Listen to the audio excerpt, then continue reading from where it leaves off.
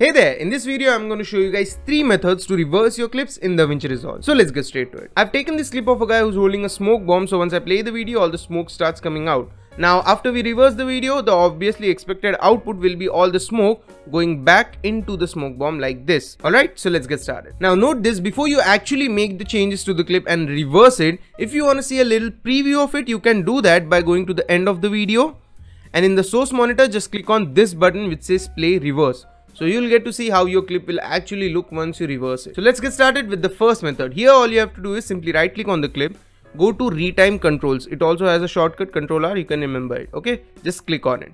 After you do that, a little box will appear here. It will say speed change. It will say the name of the file and this little 100% it will also have arrows that are facing right. So simply click on this arrow down here and click on reverse segment. And we're done. These arrows are facing left now and we have reversed our clip. If you play the clip, see the smoke is going back in. So that was the first method. In the second method, right click on the clip and go to change clip speed instead of retime controls. Change clip speed, click on it. Then this little window will open up. Here all you have to do is simply press on reverse speed and hit change. And we're done. The clip has been reversed. If you play it, you can see it.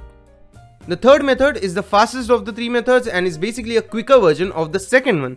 Now if you remember the second one, we right clicked on the clip, we went to change clip speed and then this window popped up.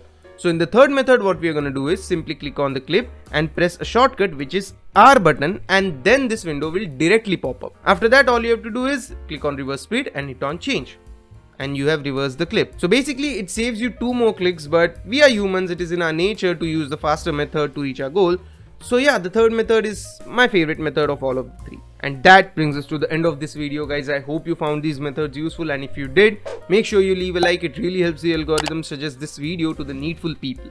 Share this video with your friends and finally consider subscribing to the channel. I post such DaVinci Resolve tutorials, I've got a whole playlist of it. I stream games every week and occasionally I post some knowledgeable yet entertaining videos on this channel. So that's it from my side. Thank you for watching the video. I'll see you next time. Bye bye.